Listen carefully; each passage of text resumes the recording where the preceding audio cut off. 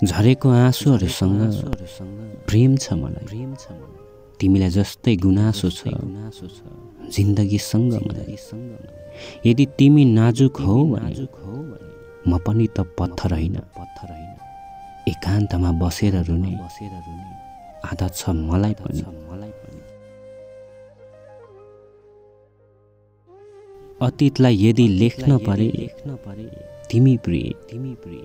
लेख्नु अपराध लेख्नु अपरा मैले लेखेँ भने लेखे भने पक्कै पनि पक्कै पनि पश्चाताप लेख्नेछु लेख्नेछु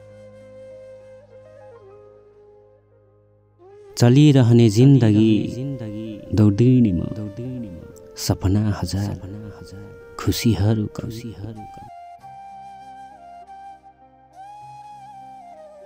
तिम्रो नहुनुभन्दा ज्यादा कठिन ज्यादा कठिन।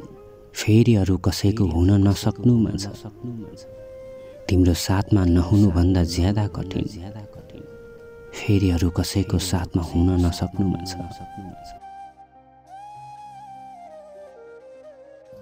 थाकिसकेको छु अब। बस। बस। मृत्युलाई अङ्गालो लगाएर अँगालो लगाएर निधाउन चाहन्छु। जिन्दगीभरलाई सबैदेखि सबै टाढा केही छिन्ला भए पनि शान्तिसँग बिताउन चाहन्छु।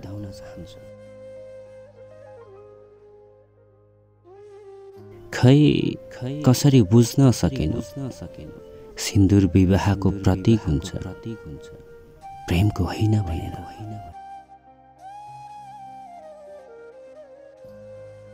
चाहना अनि चाहत यस्तो फेरि दूरी नहोस्। अन्तिममा मिलन नै एकमात्र विकल्प होस्। कहिले बिछोडिने जस्तो कुनै मजबुरी नहोस्।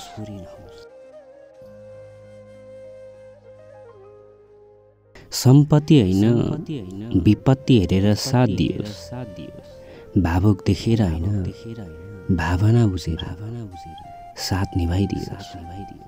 केही छिनलाई होइन जिन्दगीभरि साथ निभाउने साथ निभाउने साथी मिलोस् साथी मिलोस्